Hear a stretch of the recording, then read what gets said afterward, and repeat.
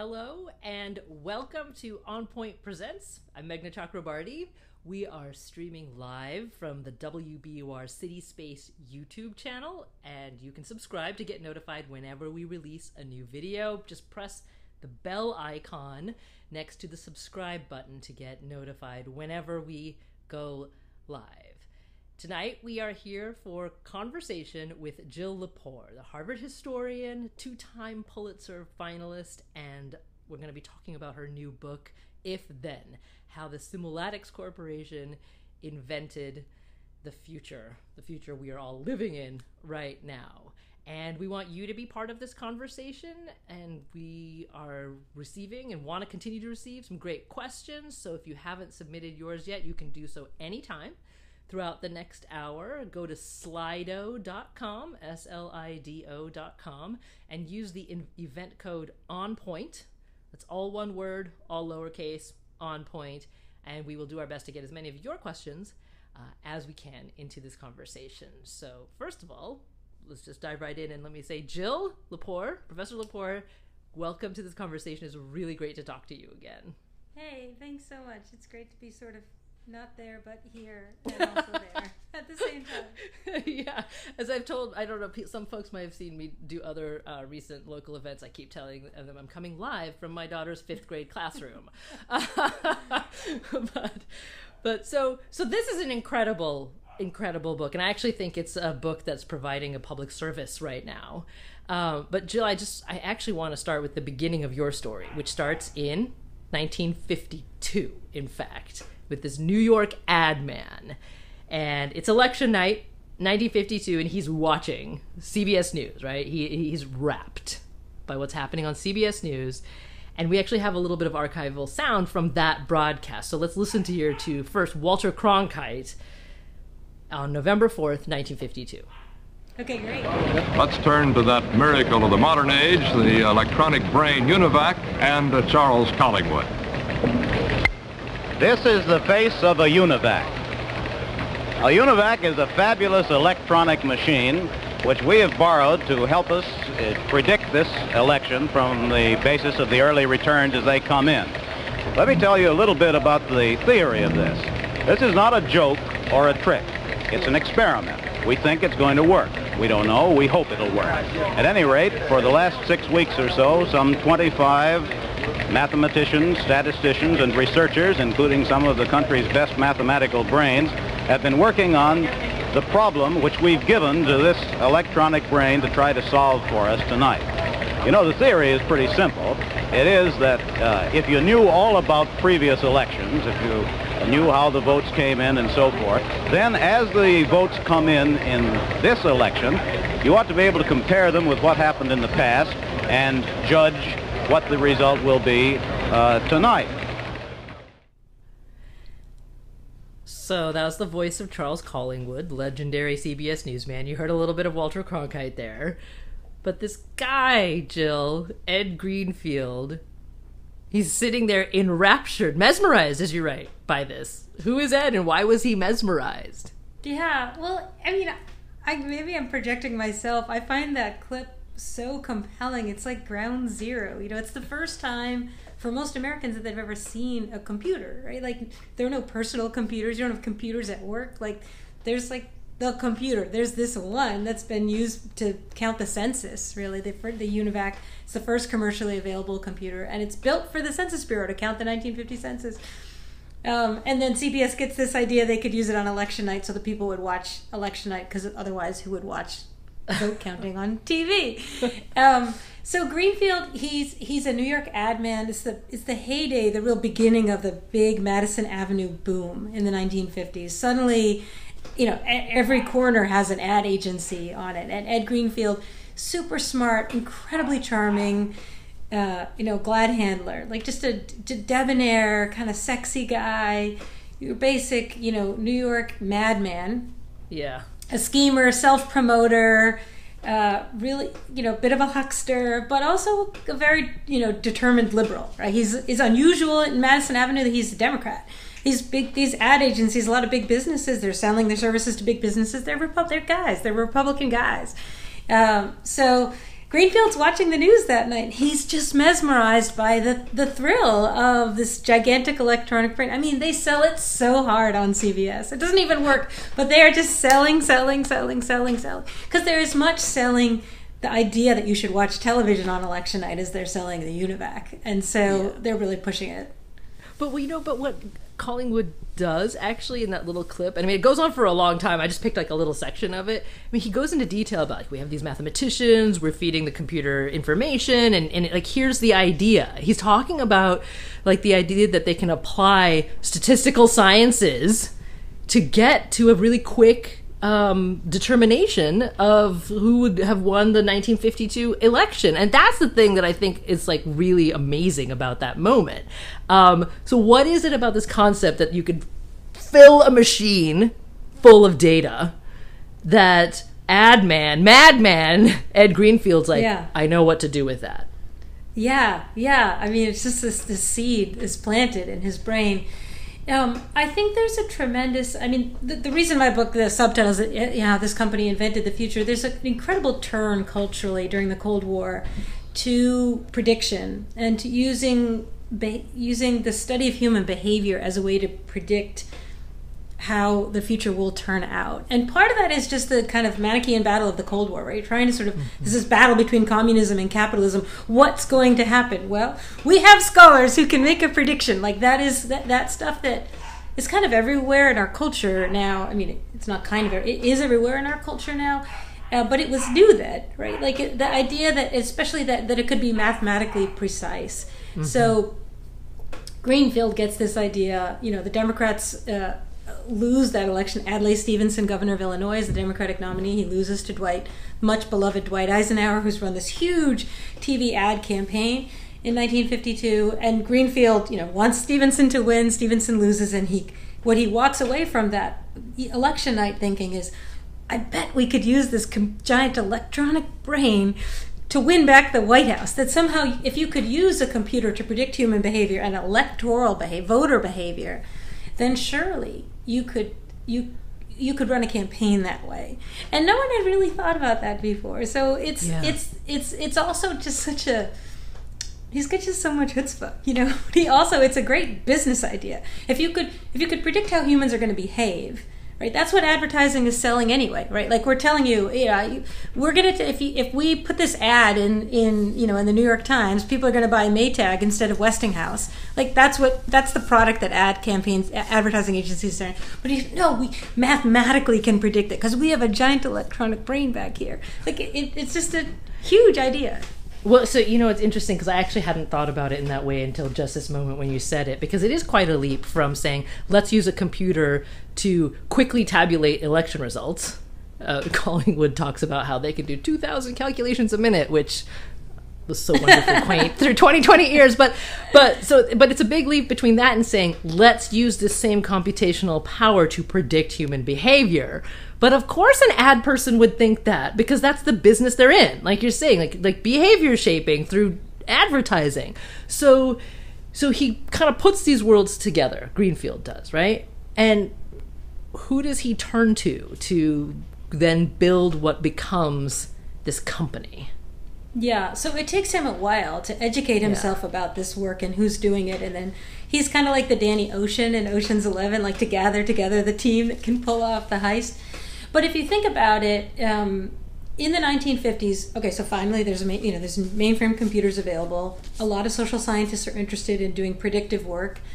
What are they going to study? They're going to study elections because the problem with doing a prediction on a computer, you need to have enough. You have to have fair, what they called massive data, which we would call big data, but you needed to have a lot of data.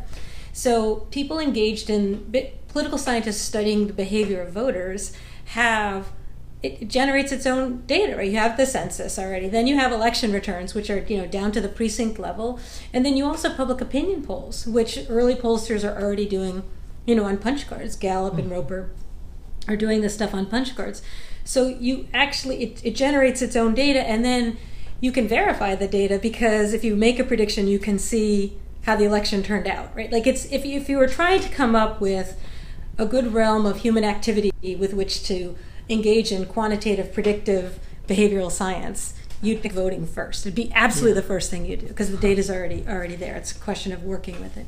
So he begins to meet these people. So Adlai Stevenson runs for gov- runs for president again in 1956, and Greenfield, whose ad agency is also a political consulting company, gets a big contract working for the Stevenson campaign in California.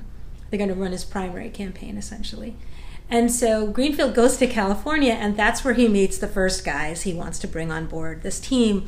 They do work for him for the Stevenson campaign, beginning with this guy Eugene Burdick from Yeah. UC Berkeley, who's my favorite guy. He's a surfer and a deep sea diver and uh, a quite accomplished political theorist and a Rhodes Scholar and a Democratic strategist. And uh, he later becomes uh, the the chief spokesman for Ballantine Ale because they want to sell a manlier brew of beer. He's just like they don't make characters like this. So he works for Greenfield, and then this this guy who's then at the Hoover Institution, which is now part of Stanford, Ithiel de Sola Pool, who later goes on spends most of his career at MIT, who's a quantitative political scientist. Those are like the first two guys that Greenfield puts together um, to think about voting behavior and its possible use um, in coming up with a way to program a machine to simulate an election in order to provide campaign advice. So Stevenson loses again in 1956, and they start working together and looking for other people to work on what for a long time Greenfield calls an issues UNIVAC. He wants to develop a UNIVAC, just like the one that CBS News used, but that instead of predicting the outcome of an election, would predict the outcome of voters' response to a candidate's changing position on the issues. Um, and so the, the, the two other people he brings on board in around 1958 are um, Bill McPhee, who's at Columbia, who does the math for this computer simulation of election, uh, and Alex Bernstein, who was at the time at IBM, who's the first guy who programmed a computer to play chess. So he has like the best and the brightest from across the country. Well, so can you tell me a little bit more? Actually, I'm going to talk about Pool quite a bit more in, in a few minutes, but tell me more about McPhee because he's really interesting. Yeah, so. McPhee, um, guy from Colorado, really brilliant mathematical mind. Uh, he dropped out of Yale to go fight in the war. He was a he was a fighter pilot, um, and then goes to gets recruited to go to Columbia to get a PhD in the um, Bureau of Social Science Research. Um, he, you know, like all of these guys, has you know he's married young. They have the kind of classic baby boom family. You know, has has uh, has three kids in the 1950s his wife's a nursery school teacher. Her name is Minnow McPhee. And um, he's extremely unstable. Uh, I mean, if you think about the, you know, the Edward Albee, like Who's Afraid of Virginia Woolf faculty marriage? That's this moment, right? Like that. That's the the the the, the demeaning of women. Uh, the distortion of women's intellect from being unable to be a part of academic life and be um, producers of ideas and, and holders of knowledge. So McPhee and his wife, like all these guys, have really a very complicated marriage. But McPhee also suffers from mental illness, and as he's finishing his dissertation, which is this mathematical model um, that can program and simulate an election, uh, his wife has him committed to Bellevue. He's become dangerous, but he's also delusional. Uh, it's a very sad, sad family story. Um, but there are these kind of just you know manic letters that he types. He gets it, borrows a typewriter in Bellevue. Where he's typing out the theory of the simulation of the electorate. Um, I, know, I just found that kind of chilling in the archives when I found those letters. I found them in Chicago, um, in an archive at the University of Chicago, and it's just like this is where Cambridge Analytica was born in a madhouse. You know that this this this fantasy that you could control people's behavior by predicting it and then manipulating it. Um, I, it's no way to live, um, and somehow it, it means something to me that it came came out of a manic episode. So interesting. So I'm going to just read a little section from the book. So the the company is officially uh, opened or uh, launched in 1959, right? Um, and you write that the scientists of the Simulmatics Corporation, of course, simulation and automatic being the source of the name, acted on the proposition that if they could collect enough data about enough people and feed it into a machine, everything, everything one day might be predictable. And everyone, every human mind, simulated, each act anticipated, automatically, and even driven and directed by targeted messages as unerring as missiles. Uh, that's from If Then, Jill new book. Uh, I mean, it really does sound exactly like the world we're living in now. And I think it was one of the things that it was so eye opening to me is that this is 60 years ago, if I'm doing the math right. Um, so the ambition was there, uh, which is kind of amazing to me. How did it first, how did Simulmatics then first say, like, okay, here's the first test that we're going to do? Because you write about um, a thing called Project Macroscope. What was that?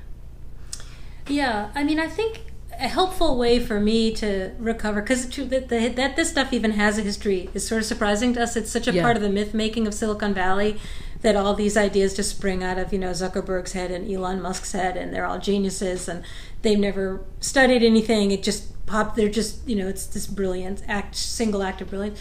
Uh, All this stuff has a really quite a long history one way that it helps me to think about it in terms of the 1950s and that, like that language in the passage you read as unerring as missiles, like the the work that a, a lot of the math of this kind of prediction and simulation is coming out of defense uh, against nuclear annihilation. So doing real time computing comes out of you know a project that is that is about anticipating missiles. Um, doing flight simulation for bombers who are going to be dropping bombs, like all that thinking about the movement of physical objects through space as part of the arms race then gets kind of mapped onto oh what if we could control the messages that we send to people and influence their ideas we could inoculate them against communism i mean there's this whole kind of cold war effort that's called the minds race right which is about figuring out how people receive messages and respond to them so that we can win the, the war of this war of ideas um, so it when you think about it that way, then oh, of course, this crazy stuff that happens to me on my phone comes from the Cold War. Of course, like of, somehow it be- begins to make sense that way. Um, so Project Macroscope. What Ed Greenfield read Bill McPhee's dissertation, which was called "A Fully Observable Macroscopic Electorate" or something like that. And Greenfield, like the ad guy, is like, "Oh, macroscope. That's a cool. That's like that would be cool." So he calls it Project Macroscope, and he writes out a proposal for this voting simulation machine, and he sends it. It's 1959. John Kennedy, from Senator from Massachusetts, but he thinks Adlai Stevenson will run for it. Inside, so he uh, Greenfield sends this proposal to the Stevenson guys, um, including Newt Minow, who was had been Stevenson's law partner and was general counsel on his earlier campaigns. People know Newt Minow's name because he goes on um, to be uh, the chairman of the FCC under Kennedy, and he's the minnow in Gilligan's Island. That's the name of the boat because it's an indictment of Minow. Long story. Um, so he he sends the proposal around. He sends it to people like Minow, saying, you know, do you think Sleason, do you think that Stevenson would like to hire us to do this simulation of the election? Um, and Minow, I, this is a, this is probably my favorite archival find. I found this in Stevenson's papers at Princeton. Minow forwards the proposal, which is top secret, to Arthur Schlesinger at Harvard, uh, just down the road from where I am here in Cambridge, and says, like, do you remember this Greenfield guy? He worked for us in '56. Now he has this crazy idea. What? Like, I, I just, I don't know. What do you, I, I wanted some advice from you because clearly this is immoral. We shouldn't simulate an election and tell a candidate what position to take on, you know, civil rights, or something. and it's also should plainly should be illegal. And then finally, I'm pretty sure it can't possibly work. And it's just so he has such a clarity about it. He's entirely right. And Schlesinger, who's a real power lover, writes back. He's like, "Well, I, I, I agree. I mean, I agree with everything you say. But on the other hand, who am I to stand in the way of science? What if it works?" Well, so I okay, so I have um, the exact language that you, that um, that they wrote to each other. Also, we should talk for a second about sort of the Cambridge cabal part of all of this. But um, yeah. but um, so Minow, Newt Minow writes, without prejudicing your judgment, my own opinion is that such a thing a cannot work, b is immoral, c should be declared illegal. Please advise, right? And so then Schlesinger, as you said, he writes, I have pretty much your feelings about Project Macroscope. I shudder at the implication for public leadership of the notion that a man shouldn't say something until it, until it is cleared with the machine. But then, as you point out, he says, he writes, I do believe in science and don't like to be a party choking off new ideas. Okay, so this new idea of using masses of the 1959 1960 version of voter data to predict voter behavior. The first, so the Kennedy campaign says, yes, we'll take this. So first, the DNC says yes. The DNC, um, okay. Really, kind of acting on behalf of a possible Stevenson nominee. Because remember, the Democrats had been split um, into the Dixiecrats and the Democrats because the, the Southern conservatives who were opposed to civil rights and the Northern liberals were in favor of civil rights. And meanwhile, black voters in the North were voting for Eisenhower mm-hmm. in 52 and 56. Uh, the, the, the initial project of the Simulmatics Corporation and of Project Macroscope was to predict how black voters would respond if the Democratic nominee took a stronger position on civil rights. Can I just jump and, in here for a second, Jill, yep. for a second? Because, I mean, it's important to note that one of the reasons why black voters were voting for Eisenhower is because he had signed the 1957, right? Uh, yeah. Civil Rights yep. Act of 1957. Yep. Like, I mean, we'll come back to that, but I just wanted to. It wasn't. It wasn't yeah. arbitrary by any means. Right. No, and in fact, you know, black voters where they could vote had been Republicans since emancipation. Right. Mm-hmm. Like that's the was the party of Lincoln. It's not meaningless. Yeah. Um, FDR had had formed a new coalition during the New Deal and had recruited a lot of black voters into the Democratic Party. Stevenson couldn't do that. Stevenson had a running mate who was a segregationist from Alabama in 52 and he refused to take a strong position on civil rights. Greenfield and all these other northern liberals uh, were so frustrated with the Democratic Party, and we're trying to prove, you know, in swing states, black voters can vote. Like these these northern industrial states, which many of the same states are still swing states, and and Democratic pollsters never polled black voters because they're like, well they can't vote in the South, and who knows if they'll turn up in the North, and probably are lost to the Republicans anyway. And so these guys were like, no, mathematically, they can win the election for the Democratic nominee. The only way we'll win back the White House is if we take, and also, they Greenfield was a very ardent civil rights activist. Like he really did believe in this. He was just trying to find a way to convince the nominee. So the DNC hired them. They do this report on, on it's called Negro Voters in the North. You can find it at the Kennedy Library uh, down the road. Um, and then when Kennedy becomes a nominee instead of Stevenson, the Kennedy campaign hires the Simulmatics Corporation to do three more studies, and they produce three more reports in, in the in the weeks leading up, like this time of year um, in 1960. The, and and those reports say say what that Kennedy should do what in order to yeah um, they, more of they, the black vote. They say all the well they say they've already said the stuff they want to say about the black vote and okay. and they came they claim credit for the party platform um, that comes out of the um, Democratic National Convention, which has the strongest civil rights plank of any party ever. Uh, and Simulmatics, like that's because we explained that this is actually necessary. You might say maybe it was the Texas A&M students in Greensboro sitting in. You know, I know students across the South sitting in. There's a lot of other forces that would lead the Democratic Party to take a stronger position. But what they tell the Kennedy campaign is, first of all, you should be forthright about your Catholicism um, don't don't evade the question. Uh, just take it on. In fact, seek out opportunities to talk about your Catholicism. And they say that their simulations have demonstrated that that if Kennedy were to do that, he would lose no more Protestant voters. He'd already lost the ones who were opposed to his Catholicism, but he would gain, gain black voters and Jewish voters who he really, really needed because they would identify with him being the, a member of a persecuted group. Um, so the more he could make himself seem persecuted, so his Catholicism, the better off he would do.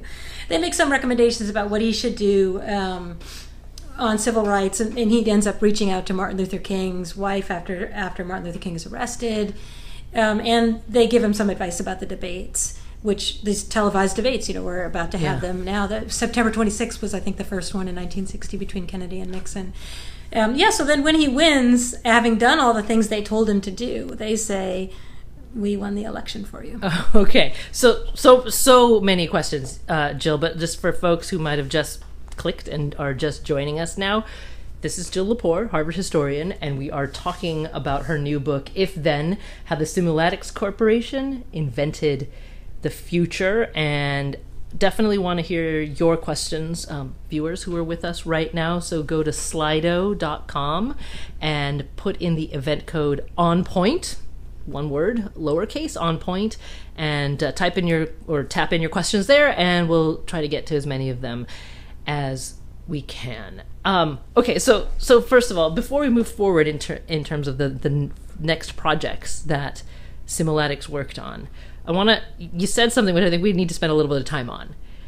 They produce these reports about uh, what Kennedy ought to do, or the Kennedy campaign ought to do to win in 1960 regarding um, uh, earning as much of the black vote as possible. But as you said, the civil rights movement was happening at the same time. I mean, uh, uh, as, you, as you write in the book, all people had to do was turn on the TV if they weren't actually in those cities to see what mattered to those Americans. So, I mean, right there, it seems like two things. One is, okay, so maybe Simulmatics affirmed the obvious, but what does it say that? I mean, can we say that the Kennedy campaign listened because the machine told them to? And if so, what is what is what does that say about who campaigns listen to to begin with? Yeah, this is what I really struggled with. Maybe tried hard not to be overbearing about this point because I, I feel it so strongly. I, I think I experience it so much. Remember that the term artificial intelligence is coined in 1956, you know, at a conference in Dartmouth of, you know, a few leading computer men, as they were called. Um, and Simulmatics really is, it sees itself as the equivalent of artificial intelligence. Like it thought it was going to be win the name game, you know, it'd be like cybernetics.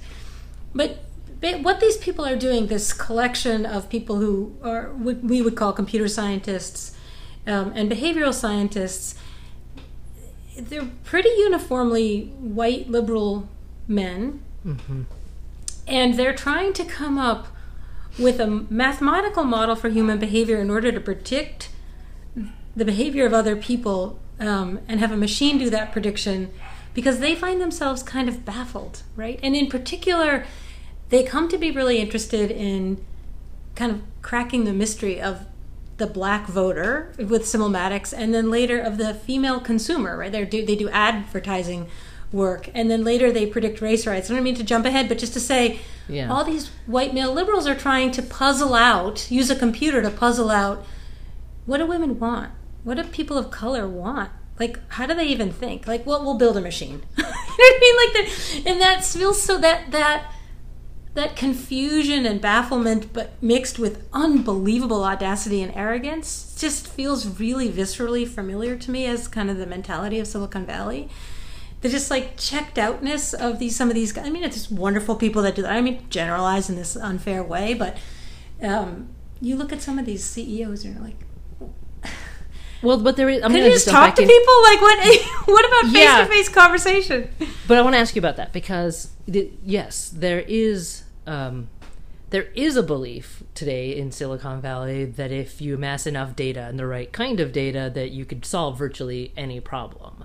Um, and look, there have been great technological advances, and in some fields, um, all of that data actually is going to make a positive difference. But I think the key thing is one of the key things is the right kind of data. So I was seeing here that you wrote that um, only a tiny slice of Simulmatics' bank of voters were black to begin with. So what was the quality of the data that they were gathering that would supposedly tell them how Yeah. voter behavior would Yeah. change? So they were really they they did not have the capacity to really gather much data. They weren't a data gathering company, right? They Okay. were a analytics company. So they were using for their data to do the simulation of the electorate. They relied on polls. So they got Gallup and Roper to give them hundreds of thousands of punch cards that contained all their polls from 1952, 54, 55, 56, all through the 1950s. And then um, they sorted it out and made it into a data set that could be in conversation with one another. But remember, Gallup, for instance, never ever, he just did not poll black voters. Um, he ran a nationally syndicated column called America Speaks. Southern newspapers said they didn't want to run it if he was going to ask people about civil rights or if he was going to report the political opinions of black people when their you know their own you know newspaper readers are disenfranchised if they're black. So the, the, polling data is completely skewed and in unbelievably skewed. Like that mid-century America really relied on polling is, is almost as crazy as that we rely on now. Like it's just a broken industry. Um, so they could have gone out and done more of their own original polling, but that would have been the only way they could uh, get a better a better representation, uh, like uh, you know, statistically appropriate representation of the population. Yeah.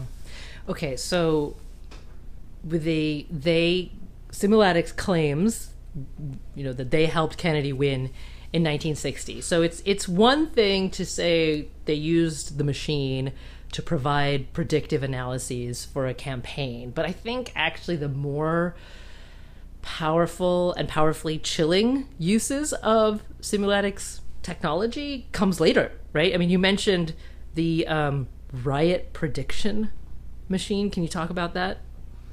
Yeah. So, um, what I was really struck by in going through the papers of the company is how they try pretty much every realm where we use, you know, predictive analytics today.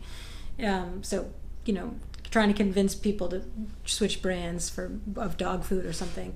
Um, they do all kinds of work, and it doesn't go especially well. The, their the most successful project is the 1960 election project because it's where they have the best data. Um, in 1960, the company 65 it's struggling, and they end up um, deciding to do work for the Department of Defense. They go to uh, the office and open an office in Saigon, but that work it's not computationally complicated. They don't have their own computers in Vietnam, but they're but they're gathering public opinion information from. Um, they're doing surveys of, of Vietnamese peasants and trying to figure out how to control messages to them.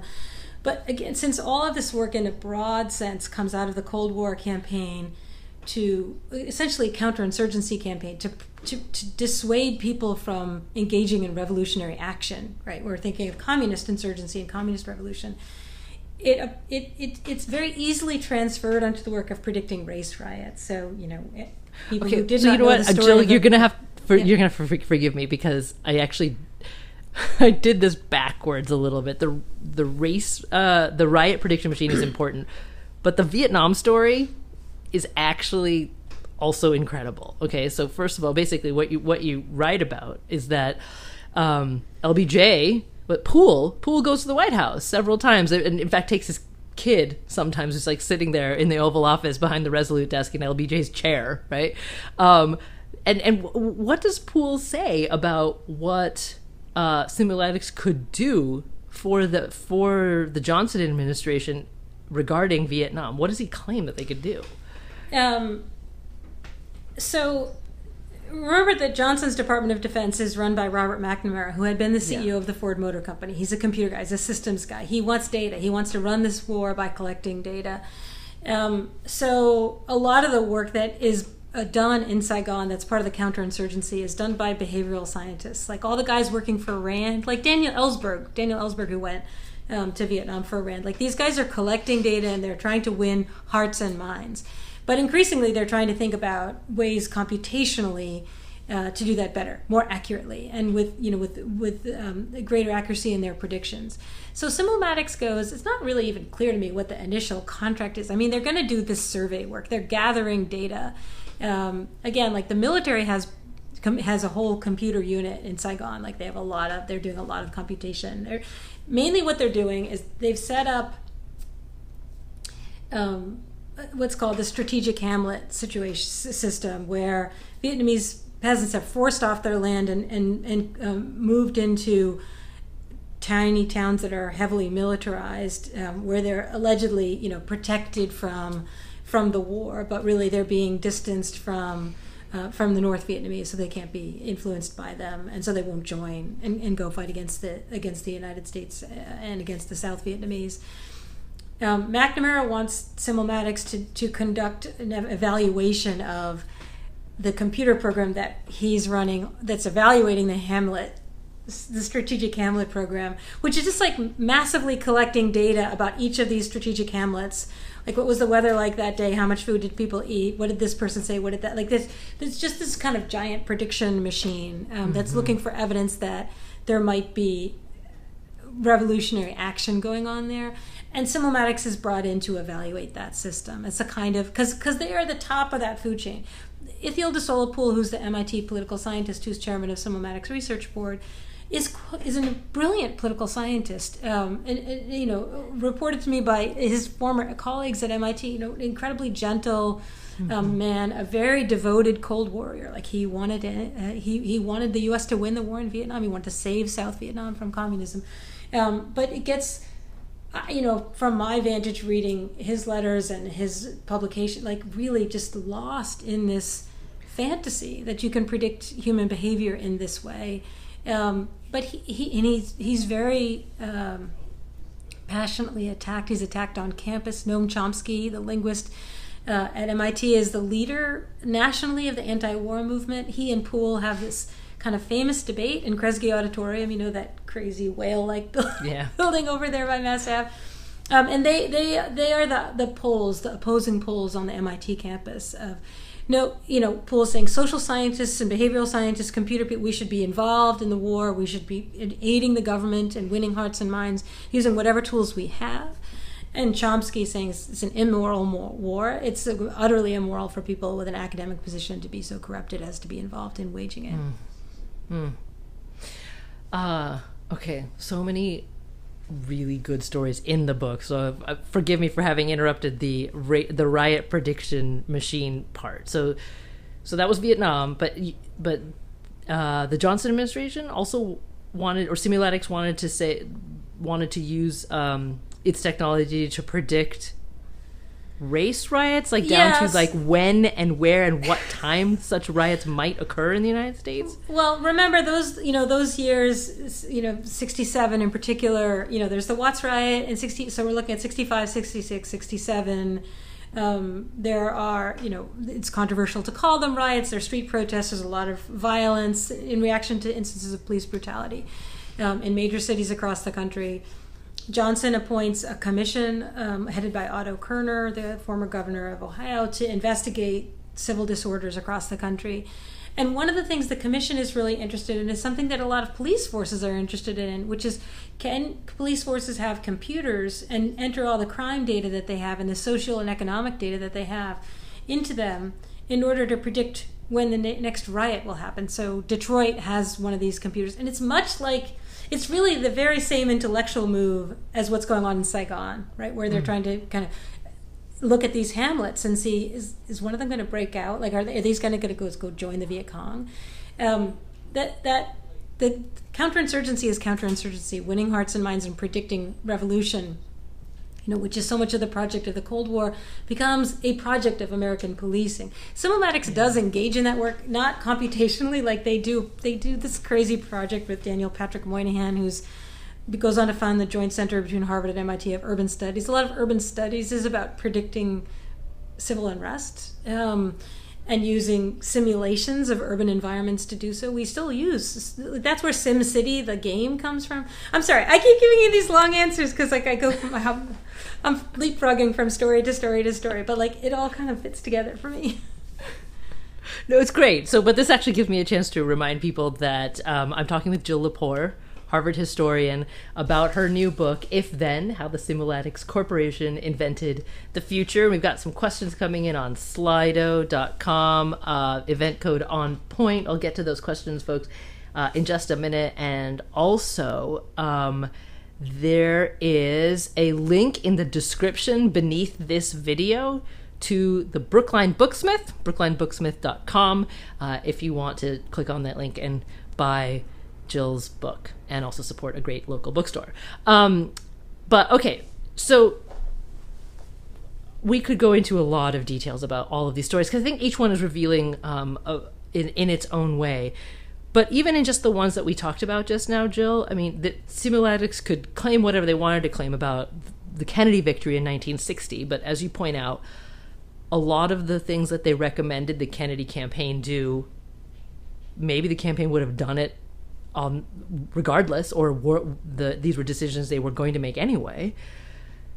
It's, you know, Vietnam still ended in disaster for both the Vietnamese and the United States. Um, whether Simulmatics and their analyses had any impact on um, curbing race riots or advancing civil rights. I didn't hear you say that. So this isn't a this isn't a lit- litany of success.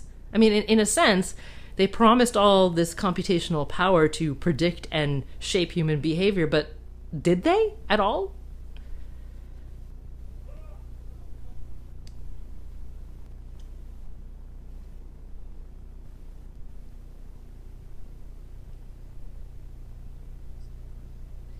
Think though um,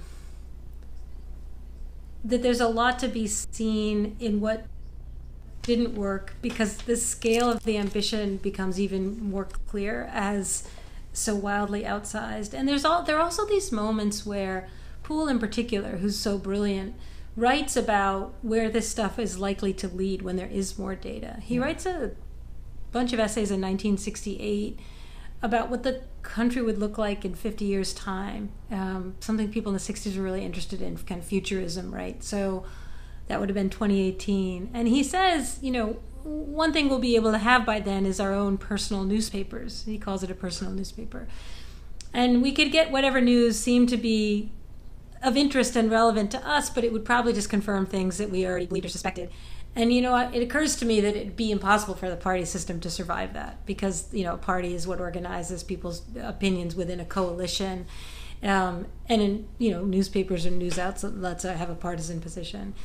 And you know, then each of us says, "Well, it'll be interesting to see how that turns out." And there's moment after moment after moment like that throughout the 1960s where very prescient people who are really up to their elbows in this stuff can see where it might go, where it might go wrong. There are a lot of dystopian projections. It's nothing like the kind of dystopianism of the 1960s. It's spookily spot on when you go back and look at it.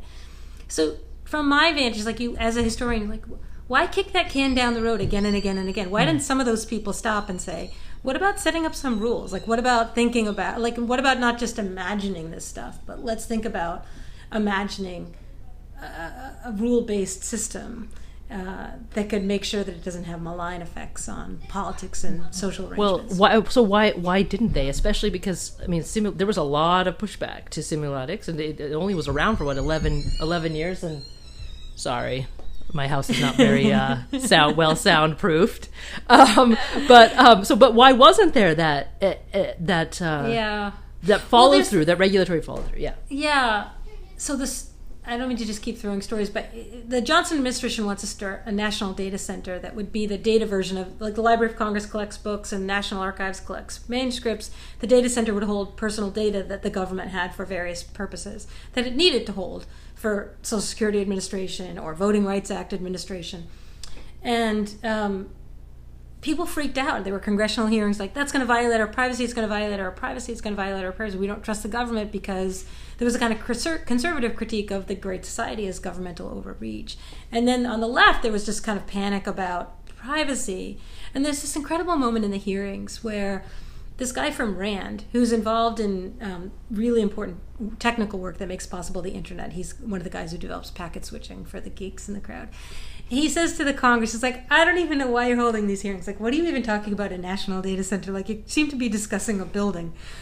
We're connecting all the computers up right now, so pretty soon the computers are all going to be talking to one another, and like data will be floating around like in a cloud. So." here's what you really need. You don't don't worry about the building. Like make some rules about the data. And they're just like it's they're like what are you talking about? The computers are going to like they can't it's it's the gap between people who are developing emerging technologies and people who are legislating. They, that's why we are where we are now, right? Like Orrin Hatch Um, doesn't yeah. understand how Facebook works. And we still, I was just gonna say, we still have that gap. Yeah, we still have that gap. Yeah. I can't even use my iPhone, as we discussed earlier tonight. You all miss, you all missed that. so here's Jill Lepore, like legendary historian, one of the smartest people I've, I've talked to, and she did not know how to close apps on her iPhone, but um, but that's okay. We got her sorted out. Um, but we've got lots of I know now. I have the capacity to learn. So people are obviously and rightfully keenly interested in what the Simulmatics story, what we need to learn from it from today. So for, for us today, because we are living in that very world that they all predicted um, and wanted to usher in. So so first of all, John is asking, can you talk about the legacy of relying on predictions? Is Simulmatics work in some way responsible for the way media covered the 2016 election? Yeah, so um, that 1952 clip that we began with, with um, the UNIVAC uh, projecting the outcome in, uh, for CBS News, that trend continues. So in 1960, uh, CBS hires IBM. And IBM puts out this big news flash that they've conducted the fastest reported election ever. So a lot of what's just vestigially a problem for us now is you know the expectation that we will have an outcome on election night which in my lifetime people have always had you know historically of course that's really new. It is not really until about 1960 that you have that. In 1952 the new york times building is still flashing out the results by searchlight from the building's rooftop which is the thing that they do. Like if it's red they have this whole like that's what a news flash is. The news newspaper buildings used to flash out the results. Like they would put a thing in the paper like like the morse code like to if by land.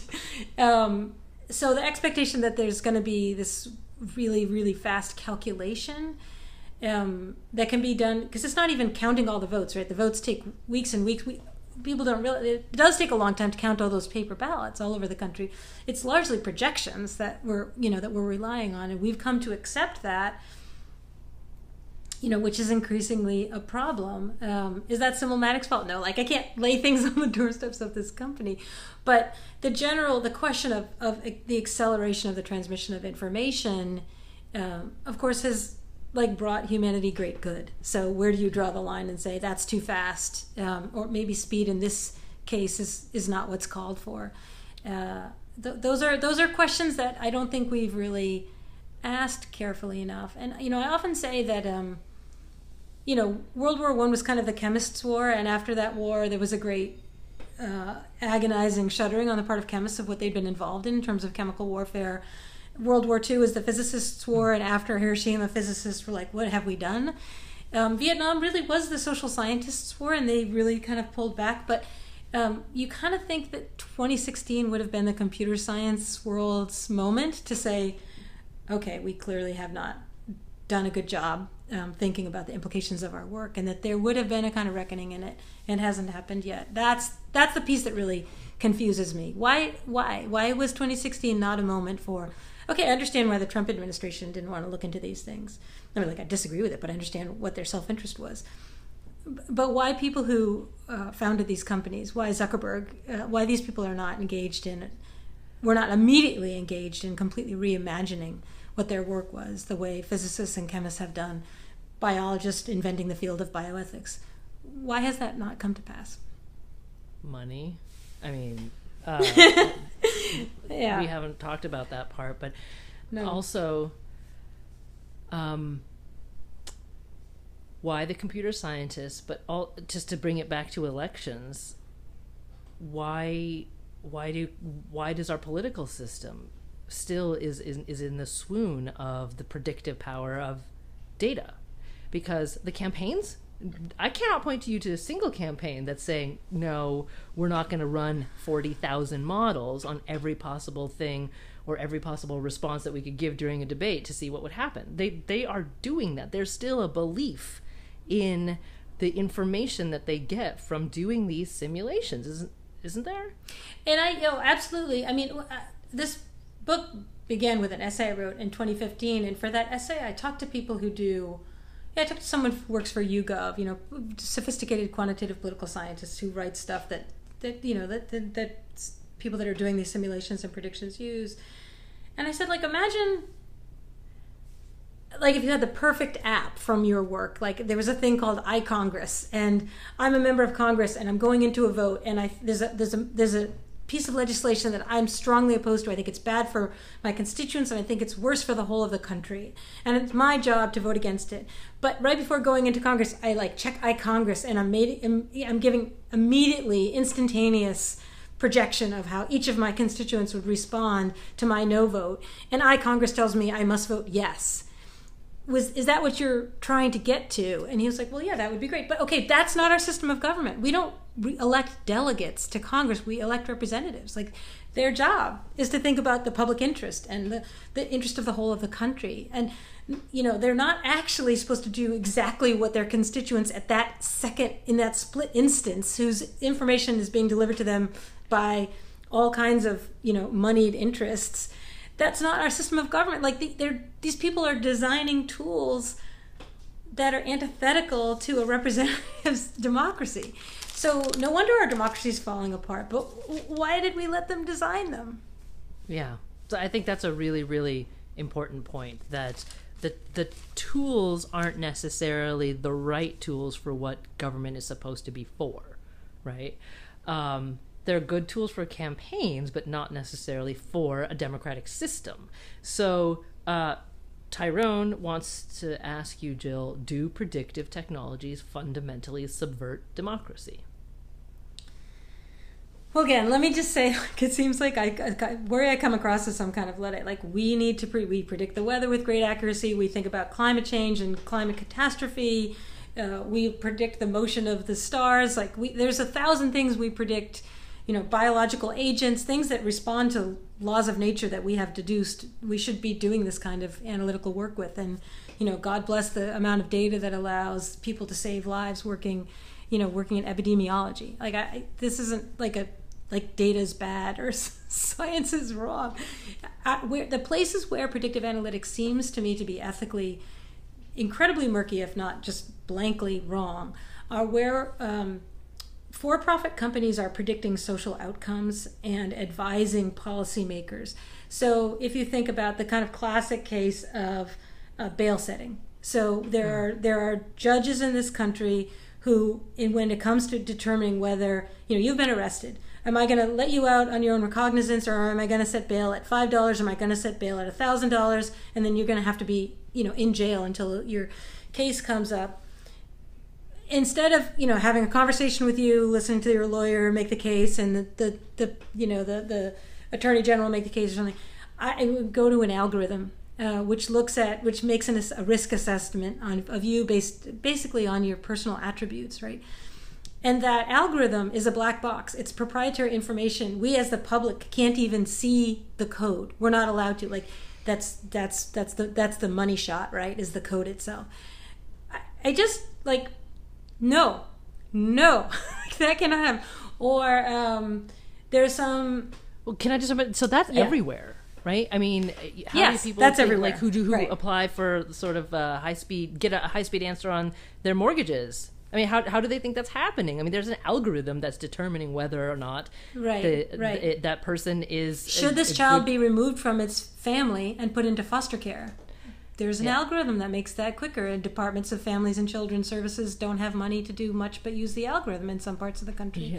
Okay, it's so, those. So... It's especially social outcomes that affect vulnerable people, right? Yeah. So that's the that's the you know it's not if they were 100% transparent um, they weren't affecting vulnerable people there were appeals available like i can imagine ways where people could convince me that that was okay right i don't know maybe the mortgages i don't i would not want to be involved in that but like just to just say this is efficient is not enough of a reason to do it when it's mm. unjust mm-hmm.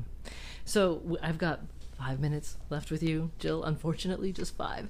Um, but I did want to share a little story with you, if I could, because reading your book it reminded me of this. I did an interview in 2015 with Michael Stonebraker, and he's at MIT, and he's the co-founder of the um, uh, Intel Sciences and Technology Center for Big Data there. And he, in that year, he had won the Turing Prize.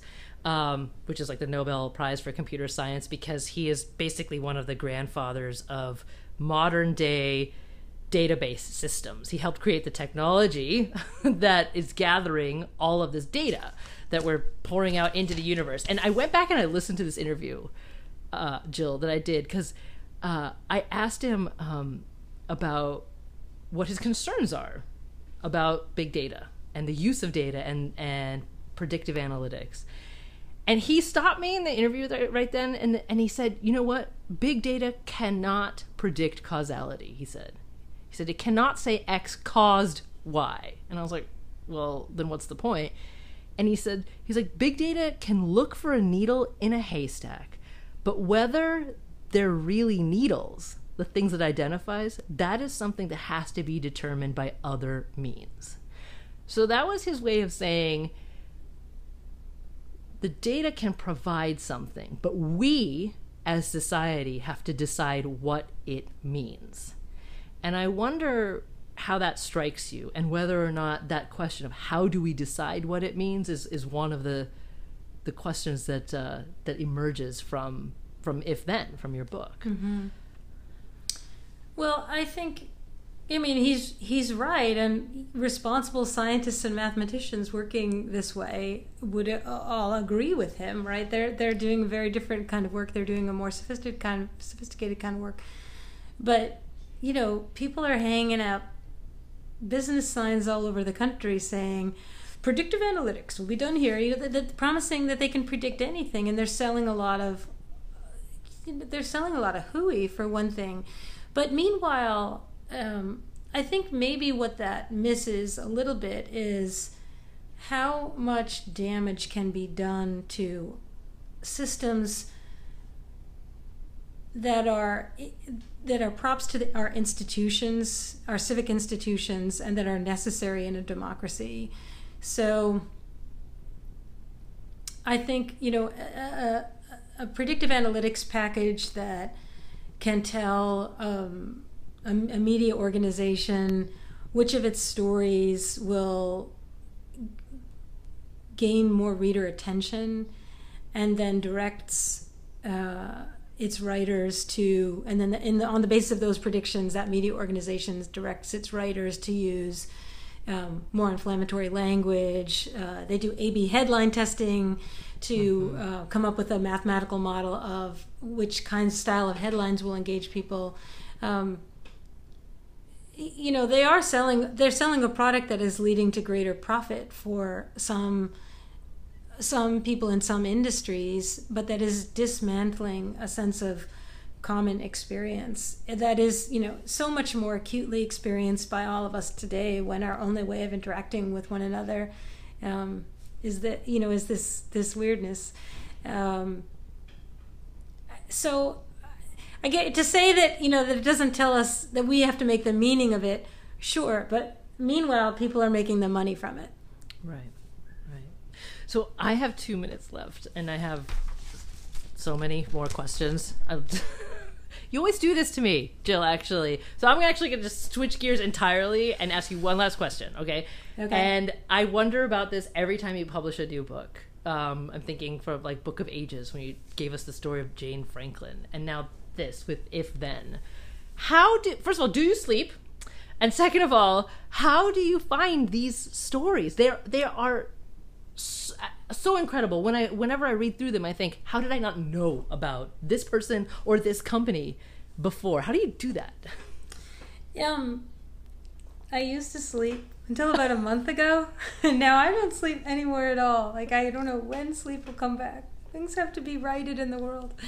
Um, yeah, you know, I everything that I find um, that I'm excited about doing is something I found in an archive, and what excited me was the kind of intimacy of only I have seen that. Do you know when you check um check a book out of the library and there's there's no one else's stamp on the in the call slip in the back, and then there's some uncut pages. The uncut pages are like incredibly magical. Like you have to get out some kind of kitchen knife and slice the page. You're like, no one has looked at this page before. I don't know. I just like I get a kick out of that. So I, I like telling obscure stories. Um, I like the challenge of that. Like writing a presidential biography does not appeal to me. Like reading through the 500 volumes of the papers of Lyndon Johnson. Like I would just would not want to do that. So I, I, I get very excited about the find. Um, and then I get excited trying to make it into an allegory for a much bigger problem or um, uh, transformation or change over time. So yeah, I get really like the, the, reason I write so many books is I get really interested in something, and actually then I hate writing books. So I'm desperate to be done. Like I love writing essays, I, but I hate writing books. So I'm so I'm like, oh god, I found this thing. The you know some of the I found in the archives at MIT, incredible librarians to work with, and and I was like, oh, I have to write a book about this. Like it's going to take me for, like so. I rush through the book so that I can be done, so that I can move on to something else because I really don't like writing books. That that's that's it's, oh, it's, I, it's, it's, all about like the compete competition of my many vices. Thank you for enduring the pain of writing books for us, Jill. I mean, so because they are incredible. So well, I like come talk to you about talk show host. Yeah. So I'm doing my talk show host impression here and showing you the cover of the book, everyone. It's If Then by Jill Lepore.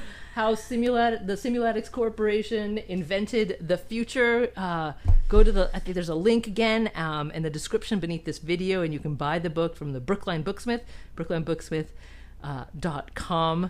Jill, it's been really wonderful to talk with you. Thank you. Thank you so much for spending the hour here. Yeah, super great as always, and so good to uh, not see but know about all those WBUR people out there. So thanks everyone for coming, and thanks so much to the Brookline Booksmith. Buy other books when you go over to their website too. So thanks everyone. Um, and uh, for all of you who are here, um, thank you for joining this conversation and for watching. And stay in the loop with all the events that we're doing virtually or otherwise. It's still mostly virtually, so we're really grateful that you um, are with us. And you can sign up for our events newsletter. Just go to wbur.org slash cityspace. Again, that's wbur.org slash cityspace for that events newsletter. And I hope to see you again in um, another event very soon. Thanks very much and good night.